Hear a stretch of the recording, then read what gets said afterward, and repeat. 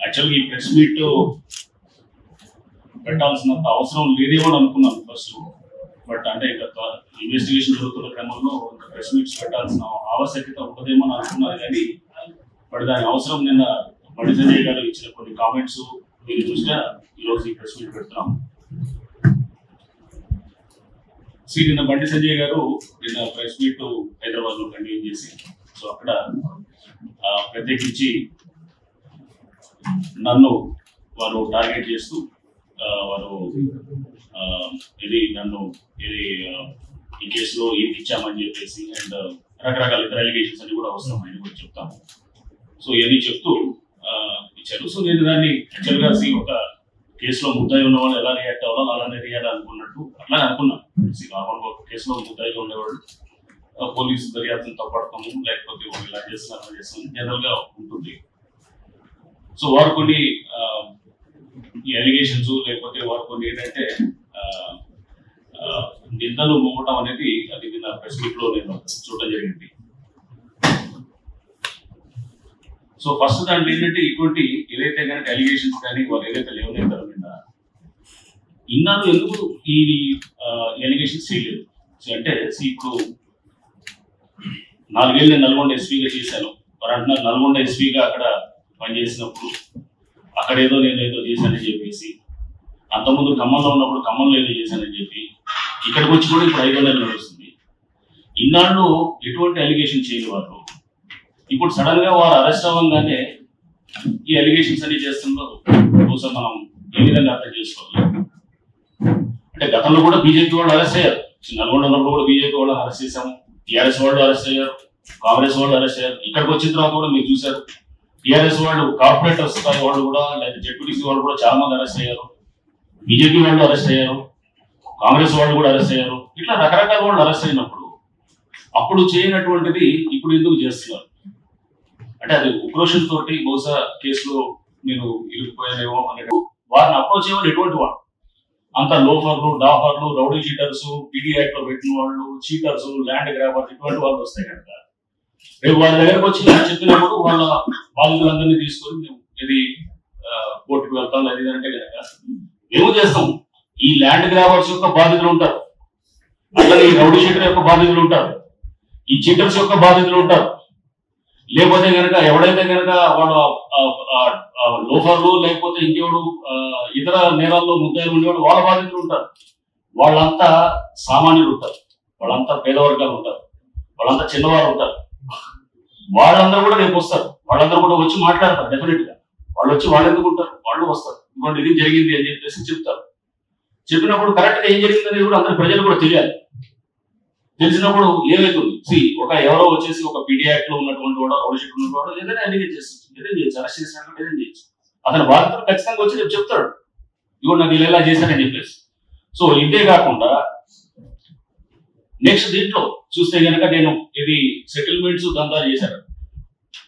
నేను నవ్వాలి అడవాలి ఏం లేదు సెటిల్మెంట్స్ దందాలు అనేది చేశారు సెటిల్మెంట్ దందాలు చేసినప్పుడు మీరు అక్రమాసంతో సంపాదించారు నేను ఖమ్మం అంటే నల్గొండ ఇప్పుడు వచ్చి కూడా ఇక్కడ ఐదు నెలలు అవుతుంది. ఒక్క సెటిల్మెంట్ కానీ ఒక్క దందా కానీ ఒక్క డీల్ కానీ ఏదైనా తప్పుడు పద్ధతిలో నాకు లాభం వచ్చేటట్టు లేదా తప్పుడు వ్యవహారం చేస్తుంటే కనుక అది మీరు నిరూపించండి. ఆరు అక్రమాసులు ఒక్కటి ఒక్క అక్రమాస అయినా కానీ కూడా నా పేరు ఉన్నట్టు మీరు నిరూపిస్తే కనుక ఉద్యోగం వెళ్ళిపోతాను శ్రేణి గారు మీకు. అంటే దాంట్లో ఊరికనే మీ మీద బురదేస్తాం మీరు ఏదైనా చేసుకోండి అని అంటే కనుక మాకేముంటుంది? వ్యక్తిగతంగా ఏముంటుంది? వాడి సంజయ్ గారు కేసులో వారు ఎస్ వారు ఒక ముద్దాయిగా ఉన్నారు. సో నాకు వ్యక్తిగతంగా we don't have anything against him it's you know మేము ఉద్యోగపరంగా చేసినటువంటి దర్యాప్తులో వచ్చింది. సి ఈటీ రాజేంద్ర గారు వచ్చారు నిన్న. వీళ్ళు వచ్చినప్పుడు వాటిని గౌరవంగా వారిని రికార్డ్ చేసిన స్టేట్మెంట్ చేసి వారు ఇచ్చారు. ఇది నాకు స్క్రీన్ షాట్ ఇదండి ఇది వచ్చింది నాకు ఫలానా ఏ త్రీ పంపించినాడు అని అన్నారు. తీసుకున్నాం ఆ స్క్రీన్ షాట్ తీసుకున్నాం వారి స్టేట్మెంట్ రికార్డ్ చేసి పంపించాం సో చాలా మంది బీజేపీ వాళ్ళు కూడా ఇట్లానే సేమ్ వాళ్ళు ఇది చాలా మంది బీజేపీ వాళ్ళు కూడా మెసేజ్ పంపించినారు. మీడియా వాళ్ళకి పంపించినారు. వాళ్ళ కూడా రేపు మెసేజ్ వాళ్ళందరి దగ్గర నుంచి కూడా తీసుకుంటాం. వాళ్ళ దగ్గర స్టేట్మెంట్ తీసుకుంటాం. తీసుకొని ఎవిడెన్స్ క్రియేట్ చేస్తాం. ఎవిడెన్స్ తీసుకుంటాం. ఏం జరిగిందనేది తీసుకుంటాం. అంత మాత్రాన వాళ్ళెవరిని కూడా మేము ఇది ఇది బీజేపీ వాళ్ళందరూ కూడా ఏదో తప్పుడు పద్ధతులు కేసులు పెట్టాలి అది మా ఆలోచనే కాదు. అలా చేయని కూడా చేయి మీరు ఎందుకంటే ఇక్కడ మీకు తెలుసు ఎన్నో కేసులు చేసాం వాస్తవంగానే ఈ అలిగేషన్స్ అన్ని చేస్తుందో బహుశా మనం ఏ విధంగా అర్థం చేసుకోవాలి? అంటే గతంలో కూడా బీజేపీ వాళ్ళు అరెస్ట్ అయ్యారు. నల్గొండ ఉన్నప్పుడు కూడా బీజేపీ వాళ్ళు అరెస్ట్ చేశాము. టీఆర్ఎస్ వాళ్ళు అరెస్ట్ అయ్యారు. కాంగ్రెస్ వాళ్ళు అరెస్ట్ అయ్యారు. ఇక్కడికి వచ్చిన తర్వాత కూడా మీరు చూశారు. టిఆర్ఎస్ వాళ్ళు కార్పొరేటర్ స్థాయి వాళ్ళు కూడా లేదా జెడ్పీటీసీ వాళ్ళు కూడా చాలా మంది అరెస్ట్ అయ్యారు. బీజేపీ వాళ్ళు అరెస్ట్ అయ్యారు. కాంగ్రెస్ వాళ్ళు కూడా అరెస్ట్ అయ్యారు. ఇట్లా రకరకాల వాళ్ళు అరెస్ట్ అయినప్పుడు అప్పుడు చేయనటువంటిది ఇప్పుడు ఎందుకు చేస్తున్నారు? అంటే అది ఉక్రోషంతో తోటి బహుశా కేసులో నేను ఇరుక్కుపోయానేమో అనేటటువంటి ఒక ఉక్రోషంతో తోటి చేసినట్టుగా అనిపిస్తుంది.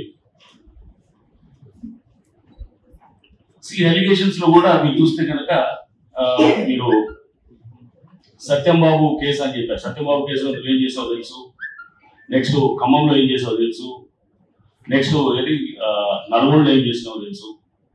అక్రమాసులు ఎంత ముందు తీసుకున్నావు తెలుసు అని అన్నారు సింపుల్ ఒకటి నేను డైరెక్ట్గా ఎవరు అట్లానే ఒక పేపర్లో కూడా నేను చూశాను ఏదో. బాధితులు కొంతమంది కలిశారు.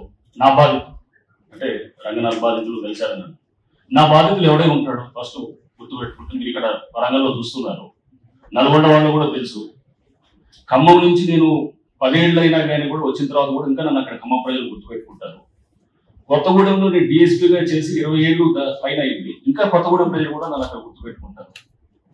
సో వీళ్ళు అంటే నేను ఎవరి పక్షాన ఉంటాను ఎవరు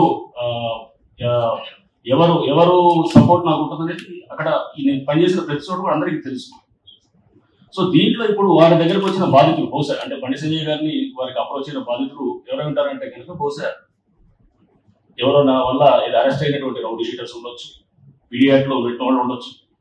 ల్యాండ్ గ్రాబింగ్లో అరెస్ట్ అయిన వాళ్ళు ఉండొచ్చు. చీటింగ్ కేసులో ముద్దాయిలు ఉండేవాళ్ళు ఉండొచ్చు. రకరకాల అంటే కేసుల్లో రకరకాల కేసుల్లో ఒక పోలీసు అధికారి డెఫినెట్గా కఠిన యాక్షన్ తీసుకున్నప్పుడు వాళ్ళు ఫైవ్ టెన్ పర్సెంట్ వాళ్ళకి ఉంటుంది. అంటే మొత్తం వంద మందిలో తొంభై తొంభై ఐదు మంది ఫెయిర్గా ఉండేవాళ్ళు ఉన్నారు. కానీ ఒక five percent three percent water వాళ్ళు ఖచ్చితంగా వాళ్ళకి కొంత ఉంటుంది. వాళ్ళకి పోలీస్ అంటే కొంత గ్రౌజ్ ఉంటుంది. సో వాళ్ళు డెఫినెట్గా ఎప్పుడు చూసినా కానీ కూడా పోలీసు మీద అలిగేషన్ చేయడానికి ఉంటారు.